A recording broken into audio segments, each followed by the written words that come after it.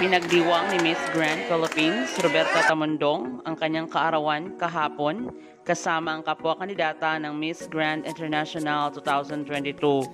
Sa kabilang banda, ngayong araw na ang National Costume Competition ng Miss Grand International at excited na ang mga Pinoy pageant fans na makita ang costume ni Roberta Tamundong na pinangalan ng Unang Reyna. Umaasa din ang mga taga-suporta niya na maiuwi ni Roberto Tamundong ang unang Golden Crown para sa bansa.